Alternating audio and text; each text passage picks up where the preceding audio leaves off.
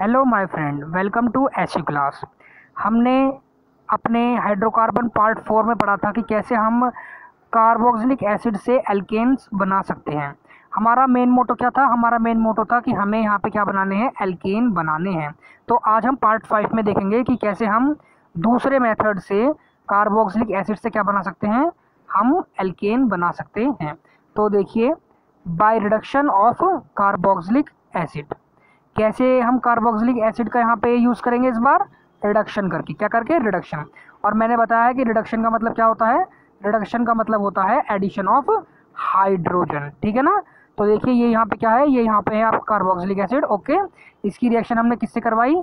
Six H I से हमने इसकी रिएक्शन कराई। ठीक है ना? किस किस प्रेजेंस में? रेड फॉस्फोरस और कितने कैलविन टेम्परेचर पे 423 कैलविन टेम्परेचर पे हमने इसकी रिएक्शन करवाई। ठीक है तो क्या हुआ यहाँ पे? हमें एल्केन मिला। कैसे मिला? ये आप यहाँ पे सिक्स एच आई देख रहे हैं, ठीक है ना? इसमें से थ्री जो हाइड्रोजन है, वो कहाँ चले जाएँगे? इस कार्बन के पास चले जाएँगे ओके और उसके बाद ये यहाँ पे क्या बना लेगा? यहाँ पे एल्केन बना लेगा। ये देखिए, यहाँ पे इसने एल्केन बना लिया, ठीक है ना? अब कितने हाइड्रोजन बचे? तीन हाइड्रोजन बचे यहाँ पे, ठीक है ना? तो ये तीन हाइड्रोजन इस एच ओ ओ के साथ में जाकर रिएक्शन करेंगे और क्या बना लेंगे? वाटर बना लेंगे, ठीक है ना? अब क्या बचा यहाँ पे? अब यहाँ पे केवल हमारे बचे सिक्स आयोडीन ठीक है ना? सिक्स आयोडीन एटम बचे। ये आपस में रिएक्शन करेंगे और क्या बनाएँगे यहाँ पे? आई टू फॉर्म कर लेंगे, ठीक है ना? यहाँ पे देखिए पूरी ये रिएक्शन आपकी कैसी है? ये हमारी बैलेंस रिएक्शन है। कैसी रिएक्शन है? ये हमारी पूरी बैलेंस रिएक्शन ठीक है ना? तो यहाँ पे हम पढ़ लेते हैं एक बार, ठीक है ना? Here an alkane with the same number of carbon atom as in the starting carboxylic acid is obtained okay यानी कि इस रिएक्शन का यूज़ हम कर सकते हैं same number of carbon atom यानी कि सिंपल से मैं आपको बात बताऊँ, इसमें भी सेम नंबर ऑफ़ कार्बन है, इसमें भी सेम नंबर ऑफ़ कार्बन है। यहाँ पे आप देखिए, ठीक है ना? एक आर कोई भी एल्काइल ग्रुप और यहाँ पे सी एक कार्बन ठीक है ना? फिर यहाँ पे एक आर और यहाँ पे एक कार्बन ठीक है ना? यानी कोई भी कार्बन यहाँ पे क्या नहीं हुआ? कोई भी कार्बन हमने यहाँ पे लूज नहीं किया है कंपाउंड में से। पिछली रिएक्शन में हमने क्या देखा था? पिछली रिएक्शन में हमने देखा था कि हमने वहाँ पे क्या लूज कर दिया था? हमने कार्बन लूज कर दिया था, ठीक है ना? ठीक है ना? आप पार्ट फोर को देखिए, आपको पता चल जाएगा। अब हम बहुत ही अच्छी रिएक्शन पढ़ेंगे इसके बाद। वो रिएक्शन है कॉलाबे इलेक्ट्रोलिसिस। काफ़ी ज़्यादा यूज़ होती है बोर्ड एग्ज़ाम में, ठीक है ना? और इसके बारे में हमें बिल्कुल पता होना चाहिए किसके बारे में कॉलाबे इलेक्ट्रोलिसिस के बारे में हमें पता होना चाहिए। तो चलिए स्टार्ट करते हैं। कॉलाबे इलेक्ट्रोलिसिस, ठीक है? सोडियम और potassium salt of a carboxylic acid on electrolysis give a higher alkene. किस साल्ट का यूज़ कर सकते हैं हम इसमें? सोडियम साल्ट हो या फिर पोटेशियम साल्ट हो, ठीक है ना? तो यहाँ पे देखिए हमने यहाँ पे किसका यूज़ किया? यहाँ पे हमने हमने यहाँ पे सोडियम साल्ट का यूज़ किया, ठीक है ना? उसकी हमने क्या करी? यहाँ पे इलेक्ट्रोलिसिस करी और हम सब जानते हैं कि oxygen atom is more electronegative than sodium atom ठीक है ना? तो वो यहाँ से क्या करेगा? वो यहाँ से इसका एक इलेक्ट्रॉन क्या कर लेगा? विड्रॉ कर लेगा। कौन कर लेगा? ऑक्सीजन एटम और उसके ऊपर कौन सा चार्ज आ जाएगा? उसके ऊपर यहाँ पे नेगेटिव चार्ज आ जाएगा। और आपका एन के ऊपर यहाँ पे कौन सा चार्ज आएगा पॉजिटिव चार्ज आएगा और जिसके ऊपर नेगेटिव चार्ज आता है, उसे हम क्या कहते हैं? एनायन और जिसके ऊपर पॉजिटिव चार्ज आता है, उसे हम क्या कहते हैं? कैटायन एनायन और कैटायन को याद रखिए, काफ़ी सारे बच्चे इसमें बहुत कंफ्यूज होते हैं, ठीक है ना? तो इसे बिल्कुल दिमाग में डाल लीजिए कि एनायन का मतलब क्या होता है? नेगेटिव ठीक है ना? और कैटायन का मतलब क्या होता है? कोई भी पॉजिटिव ठीक है ना?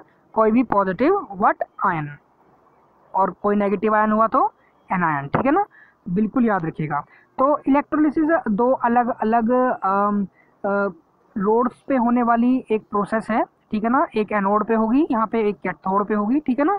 तो चलिए देखिए एनोड पे कैसे रिएक्शन प्रोसीड हो रही है, ठीक है ना? तो देखते हैं एट एनोड ठीक है ना? यहाँ पे देखिए आप आर सी ओ ओ नेगेटिव ठीक है? क्या काम करेगा ये? एक, जो यहाँ पे हमारा इलेक्ट्रॉन है, वो यहाँ पे क्या हो जाएगा? लूज हो जाएगा, ठीक है ना? और ये क्या बन जाएगा यहाँ पे? एक फ्री रेडिकल बन जाएगा, ठीक है ना? फ्री रेडिकल क्या होता है? फ्री रेडिकल होता है जिसके पास ना तो कोई पॉजिटिव चार्ज हो, ना ही कोई नेगेटिव चार्ज हो। उसे हम कहते हैं फ्री रेडिकल क्या कहते हैं उसे हम? फ्री रेडिकल कहते हैं, ठीक है ना?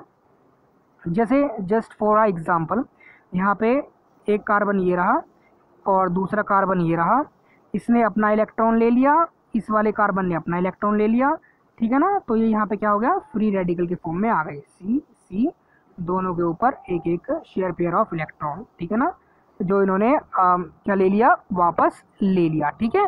तो यहाँ पे देखिए आर सी ओ ओ और उसके बाद यहाँ पे क्या है ये? फ्री रेडिकल ठीक है ना?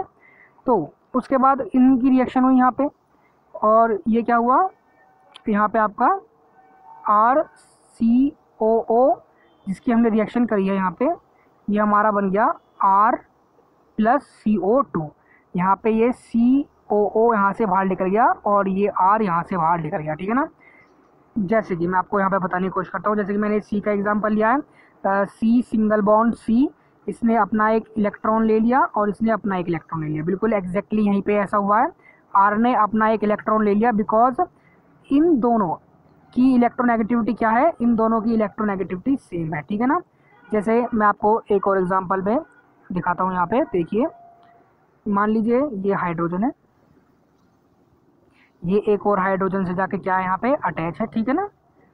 दोनों के पास एक एक इलेक्ट्रॉन है, ठीक है ना? दोनों ही इक्वल इलेक्ट्रोनेगेटिविटी रखते हैं। यानी कि जितनी ताकत इसके पास है खींचने की, उतनी ही ताकत इसके पास भी है, ठीक है ना? तो ये दोनों इक्वल फोर्स से खींचेंगे और जिसकी वजह से, जिसकी वजह से ये दोनों इलेक्ट्रॉन क्या कर लेंगे? अपना अपना इलेक्ट्रॉन वापस ले लेंगे और इन दोनों पे कोई भी चार्ज नहीं रहेगा, ठीक है ना? उसे हम कहते हैं फ्री रेडिकल क्या कहते हैं उसे हम? फ्री रेडिकल ओके ऐसे ही यहाँ पे हुआ है, बिल्कुल एग्जैक्टली इस रिएक्शन में भी बिल्कुल यही प्रोसीड हुआ है, ठीक है ना? ये आपका आर सी था, ठीक है ना? आर सी ओ ओ इसमें क्या हुआ कि ये जो वाला जो आपका आर है और ये वाला जो आपका सी ओ टू है आर भी एक कार्बन है क्योंकि ये एक एल्काइल ग्रुप है। एल्काइल ग्रुप कुछ भी हो सकता है आपका मीथेन इथेन ओके प्रोपेन तो ये आर भी आपका कार्बन से ही बना हुआ है और ये ये भी आपका टू जो बना है, ये भी कार्बन है। तो इन दोनों ने क्या किया यहाँ पे? इन दोनों ने अपने अपने इलेक्ट्रॉन ले लिए, क्योंकि दोनों ही इक्वल प्रोपोर्शनेटी लगते थे। किसके प्रति इलेक्ट्रोनेगेटिव के प्रति? इसकी इलेक्ट्रोनेगेटिविटी सेम है आर की और इस सी की भी इलेक्ट्रोनेगेटिविटी सेम है, क्योंकि यहाँ पे आर कुछ भी हो सकता है। आर यहाँ पे कुछ भी हो सकता है। मीथेन हो सकता है, इथेन हो सकता है, प्रोपेन हो सकता है, ठीक है ना? इसकी वजह से मैं आपको थोड़ा सा और इसे क्लियर करके यहाँ पे आपको दिखाने की कोशिश करता हूँ, ठीक है? चलिए देखते हैं इसे। देखिए। इस रिएक्शन को यहाँ पे हम देखते हैं, क्या हुआ? आर ओके सी ओ ओ और यहाँ पे एक ये क्या है? एक रेडिकल ठीक है? ये आर यहाँ पे कुछ भी हो सकता है, मैंने आपसे कहा। ये यहाँ पे आपका क्या हो सकता है? आपका मीथेन हो सकता है, ठीक है ना? आपका इथेन हो सकता है। यानी कि मेन मोटो क्या है मेरे समझाने का कि ये भी कार्बन से ही बना हुआ है। इसकी इलेक्ट्रोनेगेटिविटी और इसकी इलेक्ट्रोनेगेटिविटी सेम है। जब ये दोनों एक दूसरे को खींचेंगे तो इक्वल फोर्स के साथ खींचेंगे और अपना अपना इलेक्ट्रॉन ले लेंगे, ठीक है ना? इसलिए यहाँ पे क्या बनेगा? फ्री रेडिकल बन जाएगा, ठीक है ना? ये देखिए यहाँ पे ऐसे, इस तरीके से बिल्कुल। यहाँ पे आर ने अपना क्या ले लिया? अपना एक इलेक्ट्रॉन यहाँ पे ले लिया, ठीक है ना? और यहाँ पे इस सी ने अपना एक इलेक्ट्रॉन यहाँ पे ले लिया, ठीक है? और ओ और two simple very simple reaction ठीक है ना? तो चलिए, आगे देखते हैं, आगे क्या हुआ, ठीक है? फिर, ये जो वहाँ पे आर ये वाला आर मैं आपको दिखाता हूँ, ये वाला जो आर है आपका, ये वाला आर दूसरे वाले आर अब सिंपल सी बात है, जब आप रिएक्शन कर रहे हैं, इसी टेस्ट ट्यूब में जब आप क्या करेंगे कोई भी रिएक्शन लेंगे, कोई भी कंपाउंड लेंगे तो केवल सिंपल नहीं होता, केवल एक नहीं होता। मेरे कहने का मतलब ये है कि केवल एक ही नहीं रहेगा, ठीक है ना? जैसे एग्जांपल एग्जांपल आपने एक टेस्ट ट्यूब ली, आपने एक टेस्ट ट्यूब ली ओके उसके अंदर आपने वाटर भर दिया, ठीक है ना? फिर उसके बाद आपने इसमें एन मिलाया। क्या मिलाया इसमें? एन क्या मिलाया? एन ओके आपने इसमें एन मिलाया एन मिलाने के बाद क्या हुआ कि इसमें काफ़ी सारे यहाँ पे एन के ये मॉलिक्यूल यहाँ पे आ गए, ठीक है ना? एन अलग हो गया सी अलग हो गया एच अलग हो गया। तो यहाँ पे कितने सारे एन है, ठीक है ना? ऐसे ही अगर आप रिएक्शन करते हैं, ठीक है ना? आप रिएक्शन करने के बाद जब आप रिएक्शन करेंगे तो उसमें केवल अकेला आर सिंगल नहीं होगा। वो आर काफ़ी सारे होंगे उसमें। एग्ज़ाम्पल के तौर पे, मैं आपको यहाँ पे करके दिखाता हूँ, देखिए। जैसे कि ये आपका यहाँ पे एक बीकर है, ठीक है ना? इसके अंदर दो रोड है ओके ये एक रोड है और ये दूसरी रोड है, एक एनोड है, एक कैथोड है ओके ओके ना? तो क्या होगा? जब ये आर जब ये आर और यहाँ पे, यहाँ का आपका कुछ भी इलेक्ट्रोलाइट यहाँ पे भरा हुआ है, ठीक है ना? वाटर या एनीथिंग एल्स ठीक है? तो यहाँ पे आपका एक आर ठीक है ना? फ्री रेडिकल में है, दूसरा आर फ्री रेडिकल में है, ठीक है? तीसरा आर फ्री रेडिकल में है एंड सो मैन यानी कि बहुत सारे आर जो मैं डॉट लगा रहा हूँ, वो सारे फ्री रेडिकल में यानी कि इतने सारे यहाँ पे हो सकते हैं सिंगल नहीं हो सकते। तो इन दो आर के बीच में, इन दो आर के बीच में क्या हो सकता है यहाँ पे? बॉन्ड का फॉर्मेशन हो सकता है, क्योंकि आर इसके पास एक है और दूसरे वाले आर के पास एक है। ठीक है ना? ये दोनों आपस में शेयर करेंगे और क्या बना लेंगे? यहाँ पे बॉन्ड बना लेंगे, ठीक है? तो इससे भी हमारा क्या बन सकता है? इससे भी हमारा एल्केन बन सकता है ओके तो यही बात समझाना चाह रहा था मैं आपको यहाँ पे। यहाँ पे आप देखिए, आप यहाँ पे देख सकते हैं कि एक आर ने दूसरे आर के सामने साथ में क्या बना दिया? यहाँ पे बॉन्ड फॉर्म कर लिया है। और ये क्या बन गया यहाँ पे? हायर एल्केन उन्होंने फॉर्म कर लिया है। यानी कि सिंपल कहने का मतलब मेरा ये है कि जो ये नया कंपाउंड फॉर्म हुआ है, वो ज़्यादा कार्बन का है, ठीक है ना?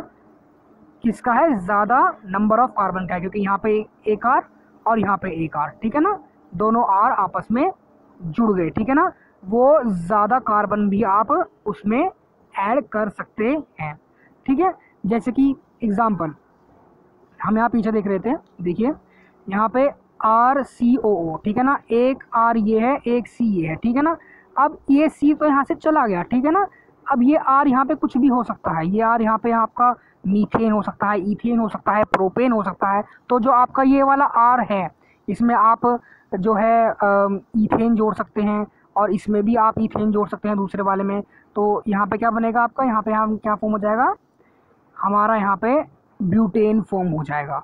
ठीक है ना? ओके? तो इसी तरीके से मैं ये कह रहा था कि कोलेबे इलेक्ट्रोलिसिस का यूज़ करके हम नंबर ऑफ़ कार्बन बढ़ा सकते हैं। हमने रिएक्शंस में अब तक क्या देखा? हमने रिएक्शन में अब तक देखा कैसे हम कार्बन को घटा सकते हैं। ये हमने पिछले वाले पार्ट में देखा हाइड्रोकार्बन पार्ट फोर में। इस वाले पार्ट में हमने देखा कि हम कैसे कार्बन के नंबर को स्टेबल रख सकते हैं और कैसे कार्बन के नंबर को बढ़ा सकते हैं और हायर नंबर ऑफ़ एल्केन बना सकते हैं। ठीक है ना? तो आप पढ़ लेते हैं। Thus ethane can be obtained by the electrolysis of sodium ethanoate ethane हमें कैसे मिल सकता है? अगर हम इलेक्ट्रोलिसिस करें किसकी? सोडियम किसकी? इथेनोएट की। जैसे एग्जांपल यहाँ पे हमें एक एग्जांपल दिया गया है सोडियम इथेनोएट का। ठीक है ना? इसे मैं आपको समझाने की कोशिश करता हूँ। ठीक है? तो चलिए देखते हैं। इसमें क्या हुआ हमारा? ये तो बाहर निकल गया। ओके? बचा ये सी एच थ्री किसके रूप में? फ्री रेडिकल के रूप में। यहाँ पे आपका ये सी एच थ्री बचा सी एच ठीक है और थ्री ओके और इसमें एक फ्री रेडिकल और दूसरा सी एच थ्री ओके इन दोनों ने आपस में क्या काम करा? आ, कि इन दोनों ने आपस में अपने अपने शेयर पेयर ऑफ़ इलेक्ट्रॉन को क्या किया? शेयर कर लिया। अपने अपने इलेक्ट्रॉन को उन्होंने शेयर कर लिया और एक बॉन्ड का फॉर्मेशन कर लिया ठीक है ना? और जैसे ही इन्होंने एक बॉन्ड का फॉर्मेशन बना किया तो ये क्या बन गया? इथेन बन गया।